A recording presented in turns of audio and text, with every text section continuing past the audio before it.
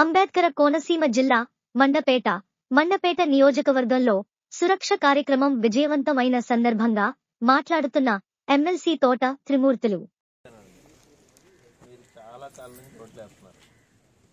తెలుగుదేశం పార్టీకి ఓట్లు ఇదివరకు అయితే ఇప్పుడన్నా ప్రజల దగ్గరికి వచ్చి మీకు ఏం కావాలని ఎప్పుడన్నా జోగిస్తారని మిమ్మల్ని అడిగిన సందర్భం మాట్లాడిన సందర్భం. చెప్పండి మీరు? ఎలక్షన్లకు వచ్చిన ఎలక్షన్లకు వచ్చినప్పుడు వచ్చి తలకో అయ్యో తలకో ఐదు వందలు చేతిలో పెట్టడం తప్పితే పిల్లలు ఎలాంటి వాళ్ళు చదువుకునేటువంటి వాళ్ళందరికీ? ఇలాంటి వాళ్ళు చదువుకునే వాళ్ళందరికీ అమ్మ ఒడి కింద డబ్బులు వేసేది. నలభై ఐదు సంవత్సరాల నుంచి అరవై సంవత్సరాల ఉన్న వాళ్ళందరికీ నలభై పద్దెనిమిది వేల ఏడు వందల యాభై రూపాయలు చేయూత ఎత్తున్నారు డాక్రా సంఘాల్లో మీ అందరికీ కూడా నాలుగు విడతలుగా బాకీ కొట్టేస్తానని చెప్పేసానని మూడు విడతలు ఇప్పటికే డబ్బులు మీ అకౌంట్లో వేసేది చంద్రబాబు నాయుడు కూడా అప్పుడు బాకీ కొట్టేస్తా ఉన్నారు. ఎప్పుడు మీకు రూపాయి సాయం చేయలేదు. ఎలక్షన్ల ముందు మాత్రమే మూడు వేలు ఒకటి మూడు వేలు ఒకటి నాలుగు వేలు ఒకటి మీ ఖాతాలు వేసారు అవునా?